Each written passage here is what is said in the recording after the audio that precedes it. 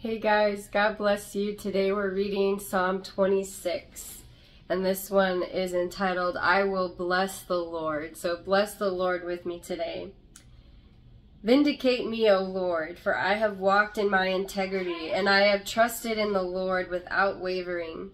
Prove me, O Lord, and try me. Test my heart and my mind. For your steadfast love is before my eyes, and I walk in your faithfulness.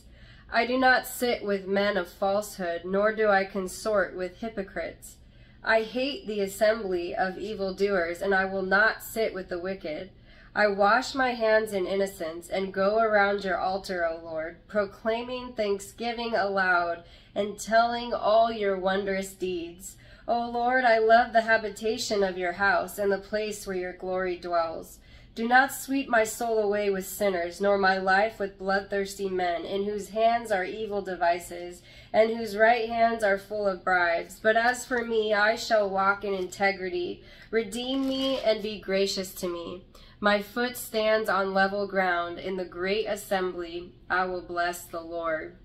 And so be encouraged that because you love the Lord, because you have made the Lord your um, your leader, you have looked to Him, you have submitted and surrendered your life to Him, you stand on level ground and you don't have anything to fear. And you can trust that the Lord sees that you walk in integrity before Him. And you, and you can be sure that the Lord sees that you have put your trust in him and is well pleased with that. And you can be sure that because you have chosen not to sit with and sit and abide with those who speak falsely, who who um, spew out lies and who deceive people, and you have chosen to walk and do life with other righteous ones, who with people who encourage you and uplift you in the Lord. That you, the Lord sees that and is well pleased.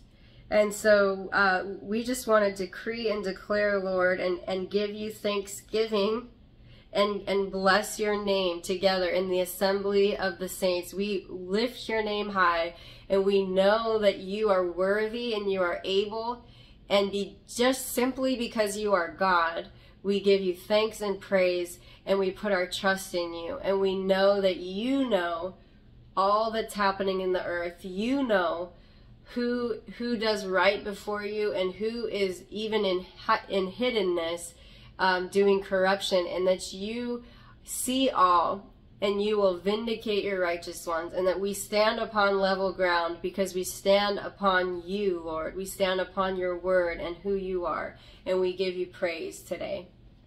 Amen